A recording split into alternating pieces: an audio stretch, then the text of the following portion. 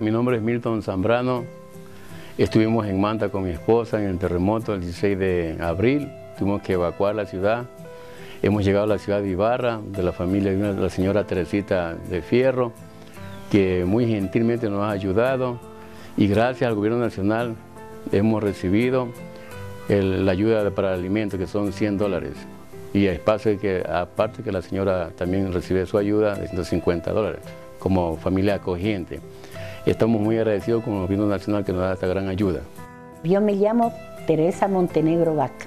He acogido a esta familia con mucho gusto, con todo mi corazón, poderlos ayudar y ahora sé que el gobierno eh, está ayudando en los bonos para podernos nosotros también ayudar y colaborar con ellos.